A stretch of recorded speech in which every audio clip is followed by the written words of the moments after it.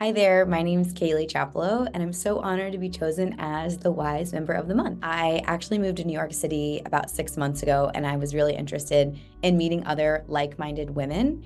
And also, I wanted to take the opportunity to learn from women who have done this whole life and career thing longer than I have. So, I have really enjoyed the panel events and the webinar events where women who are further along in their career are sharing a lot of insights that I can apply to my life now. I am so excited to explore New York City. I moved right when it started getting cold, so I'm excited to go in as a novice, do all the fun New York things, eat, drink, go to Central Park, walk around, explore all the little nooks and crannies of the city.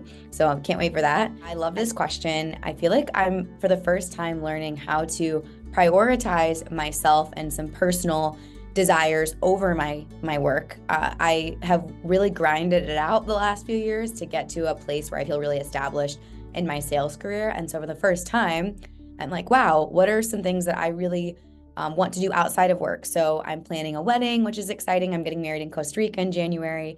I uh, also am investing in you know relationships and, and meet, meeting new friends and adjusting to the city and also just having fun. Like i'm 28 i only have two years left in my 20s so i really want to focus on instead of being obsessed with what the next step in my career is just taking a step back letting that happen naturally and focusing on some other things in my personal life because after all our job is important but i'm realizing that I need to get to know myself more and do things that fill my cup in other ways as well. So thanks again for listening. And I'm so honored to be chosen again and can't wait to see you all at the next event.